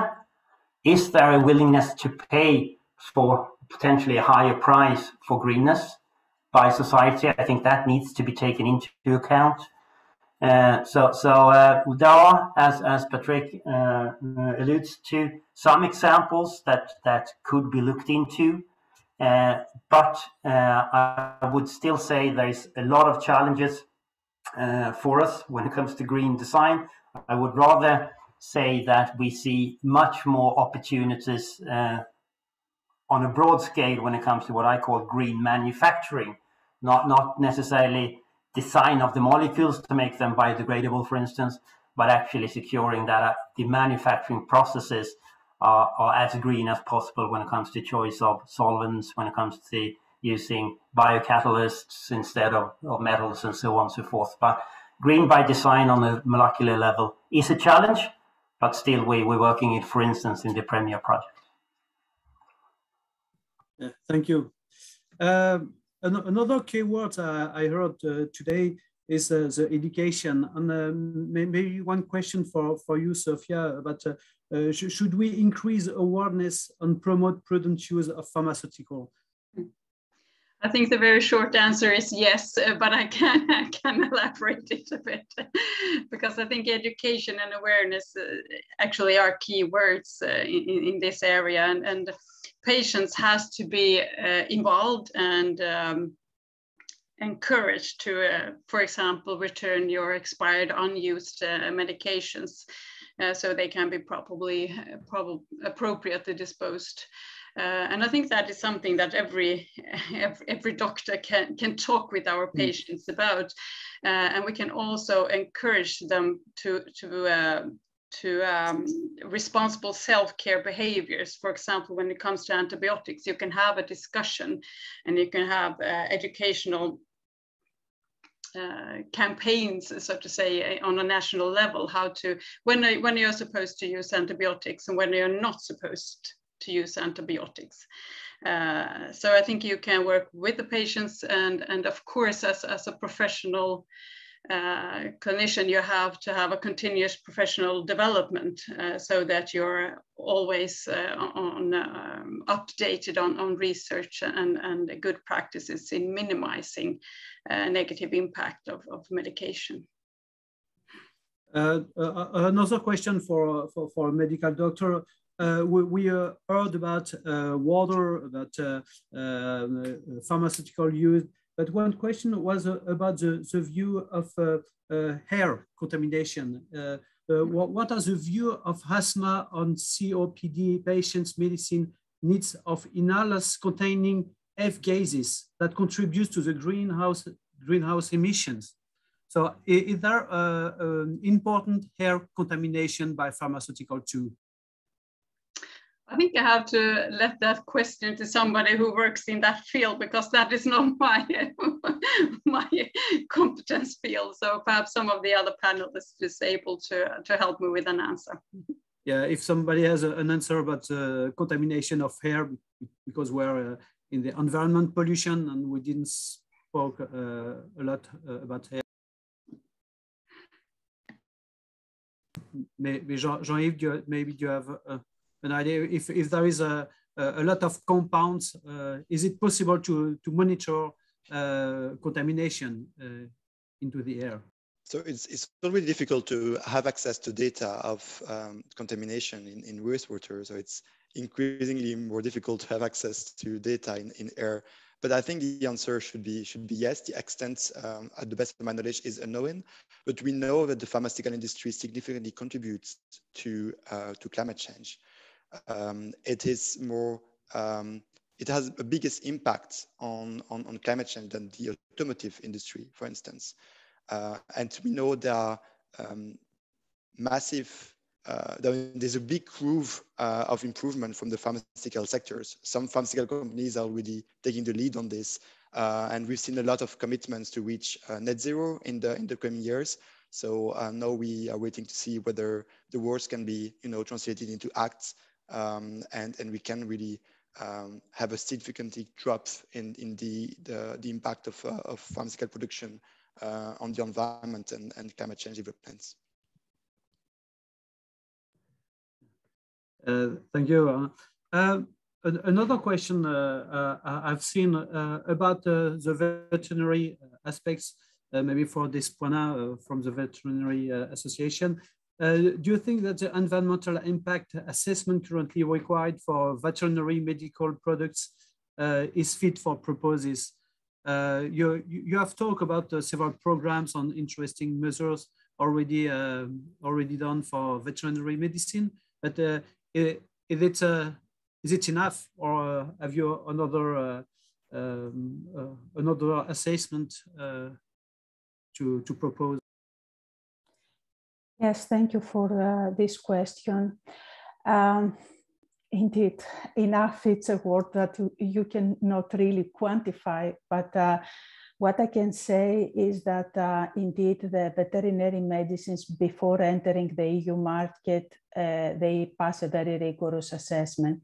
As I said, this is a, a a, a two-stage assessment. All veterinary medicines, when applied for authorization as part of their normal process, they have to, uh, to pass this environmental risk assessment to ensure that there is no potential risk for the environment, uh, either from the use of the medicine or from the environmental exposure to this uh, medicine. If the, uh, the, this product, uh, this uh, molecule does not show any uh, risk, it can be granted. The, the normal uh, uh, authorization. If a potential risk is identified, then it has to go into a more uh, deep investigation to look into environmental degradation, to look into effects that these products may have on terrestrial and aquatic not targeted organisms in order to better characterize the risk.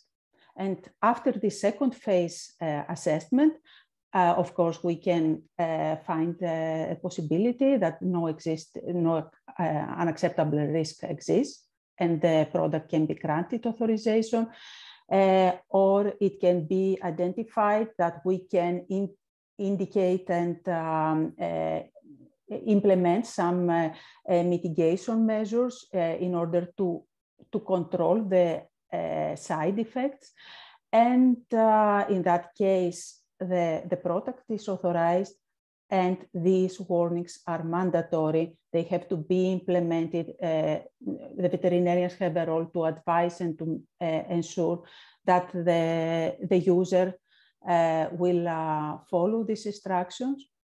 And in case that the risk, it, it, cannot be acceptable, it's an important risk for the environment, then the product does not uh, enter in the market. And all these, uh, they are now regulated also with the new uh, veterinary medicines regulation, which additionally includes a next step after authorization, and this has to do with pharmacovigilance. So uh, veterinary pharmacovigilance include also the aspect of environment, environmental adverse events. So we can say that we have a quite a very robust framework, at least here in Europe, that I, I can speak about, uh, to ensure as much as possible uh, that we uh, mitigate the, the environmental pollution and poisoning. And maybe I take the opportunity to say um, that ensuring our environment uh, that we're not polluting or poisoning our environment, this is a true One Health approach. Actually, we're contributing through that to animal and human health. And this is an important uh, note for all of us to take, I think. Thank you again. Thank you, thank you, Despoina. Uh, uh, I have a question, uh, maybe for a uh, member of the European uh, uh, Commission. who is responsible, actually? pharma or patients? Uh, who will organize, uh, for example, uh, the collecting the collecting of unused medicine or some some um, programs like that? maybe Hans or who is um, responsible?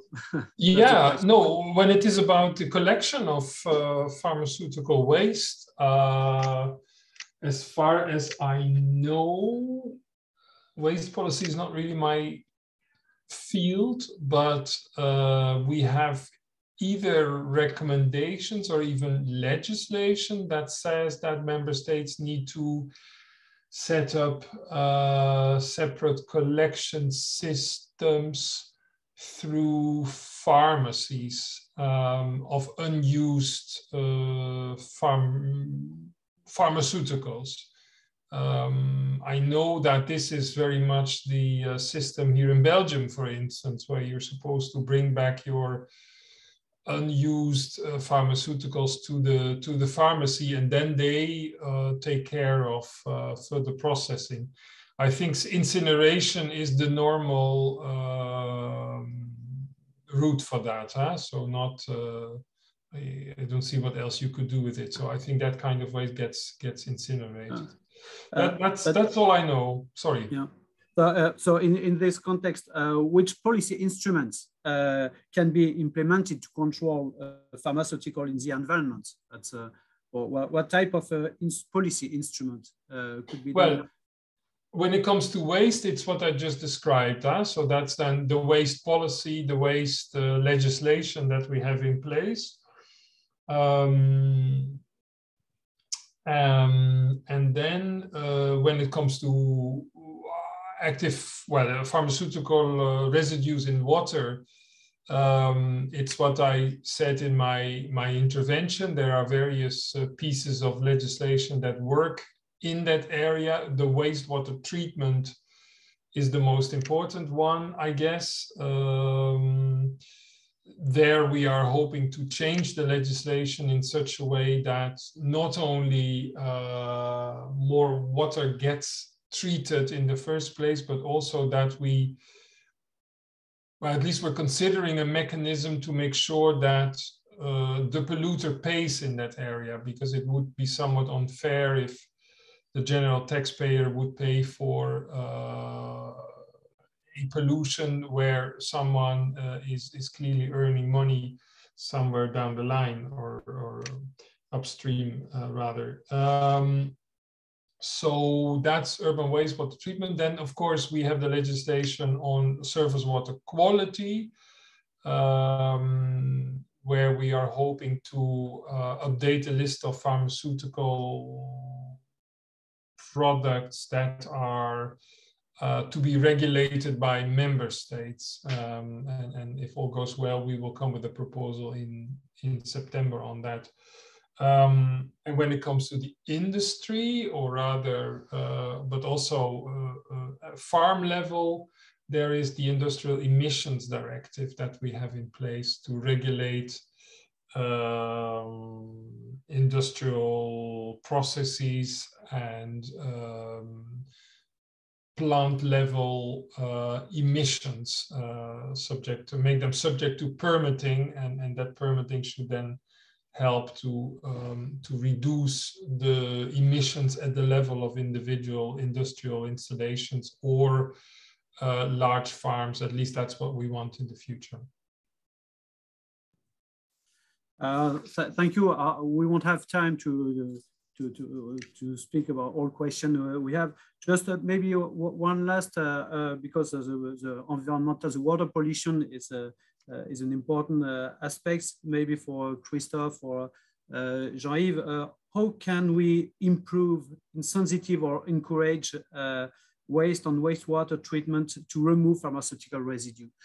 well, what, what, could, what could be done actually with a, a, low cost, maybe uh, low cost uh, strategy to uh, avoid pharmaceutical residues into the environment. Maybe Jean-Christophe, I can uh, I can just give some information uh, before Jean-Yves, if we have time. Uh, I know that, for example, in Belgium, there are some companies that are developing new uh, components that can be placed, for example, directly at the effluents from hospitals and using uh, active carbon to, to remove a, a lot of these um, pharmaceuticals before then the effluents are going to traditional uh, sewage treatment plants.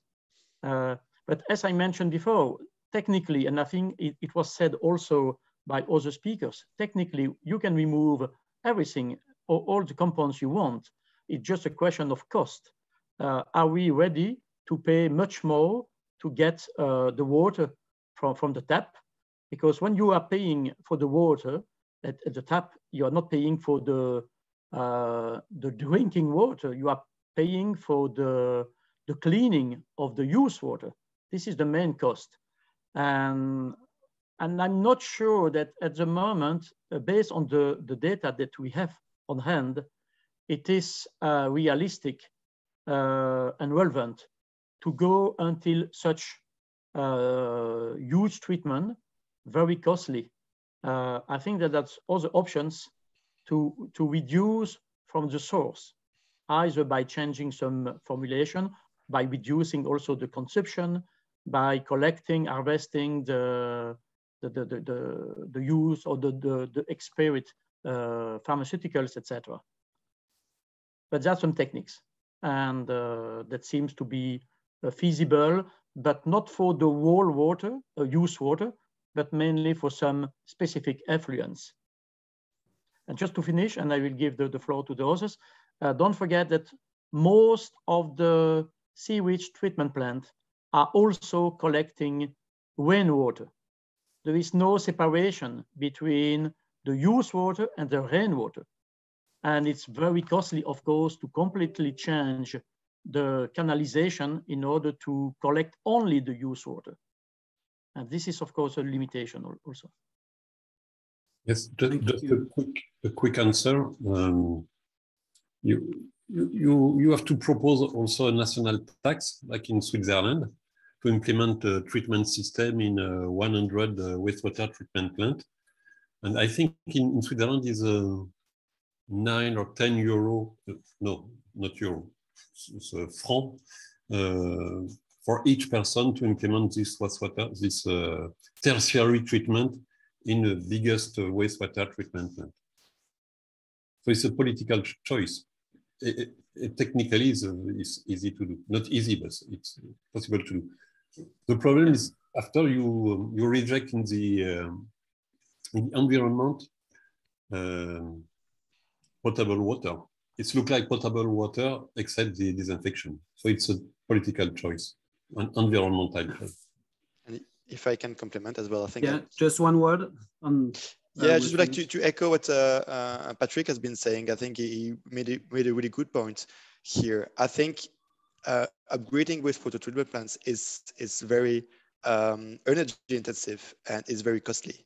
So that's why um, the OECD published a report on pharmaceutical residues in freshwater in 2019, in which they say that we need to focus first on source-directed and use-oriented approaches, and that end-of-pipe techniques can be used, but only in complementary to source-directed and use-oriented approaches. First, we need to prevent pollution, and we need to be able to uh, remove pharmaceutical residues when all these um, upstream approach have, have been taken.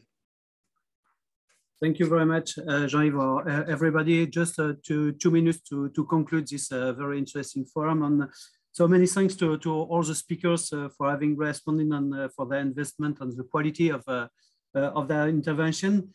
this talk testified to the extent of the field concerned by the pharmaceutical production in the environment and that were indeed in the One Health problem. And uh, actually two hours are uh, clearly not enough to be exhaustive.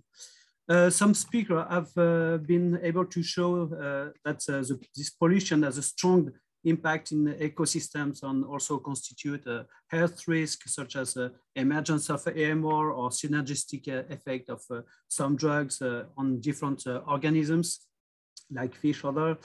Uh, very interestingly, uh, awareness is obviously present among doctors, pharmacists, veterinarians, uh, scientists, uh, industrialists, and politicians. And that's a very good news. And uh, I have a few keywords came to mind during this forum. And the first one is uh, that water treatment and management with high concentration of drug is, is important. And it's echoed with a PNAS paper recently published about the contamination of more than 200 rivers and showing that the, the most contaminated sites are those with uh, little or no domestic wastewater treatment systems, and also from pharmaceutical uh, industry. Uh, so we can also mention uh, that the problem of uh, medicine waste disposal on packaging, but I noticed that some uh, way of research are very interesting, such as ecotoxicology of pharmaceutical mixture, the fate of compounds, uh, especially uh, about uh, metabolisms that are more present than, than original compounds. that's very interesting and needs to be, to, to be um, looked. Uh, our participants also have opened interesting perspectives such as uh, legal tools, especially for environment risk assessment, uh, transparency, and to be more eco-friendly by be more to, to make more greener pharmacy and greener medicine. Uh, education and training uh, is uh, very important on promoting best practices is crucial. Uh, so uh, it's a term of uh, Dr. Madsen. I think it's an eco-pharmaco stewardship approach that has been engaged and is, con is on concerned really everyone in this One Health approach. I would like to thank all the members of the FEAM, uh, its president, Stefan, as well as the organizers, uh, Patrick, uh, Elisa, uh, Ruben. And uh, please note that uh, this forum has been recorded and will be available on YouTube in a few days and a summary will be also published. So thank you very much for being so much to be present today and um, see you soon. Thank you all very much. Bye. Thank you, Bye. Thank you very much. Thank, Thank you very much. much. Okay.